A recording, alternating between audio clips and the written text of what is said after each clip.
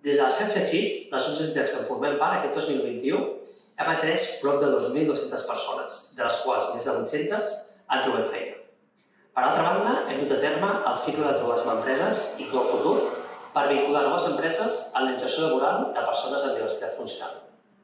A la vegada, hem reforçat la gestió d'ofertes directes a motiu d'empreses. També seguim fomentant la formació dels nostres professionals a través del model d'ocupabilitat per competències i hem iniciat la relació amb persona activa en la formació en eines TIC de les nostres persones usuàries, amb l'objectiu de reduir l'escletxa digital i que no es converteixi aquesta en una nova font d'exclusió. Finalment, hem participat activament en la quarta jornada del Saló d'Ocupació de Barcelona. Pel que fa a reptes del 2022, volem reforçar la nostra relació amb el teixit empresarial, augmentant el nombre d'empreses a prospectar i, per altra banda, seguir fomentant la formació dels nostres professionals en tot el que és el model de qualitat per competències.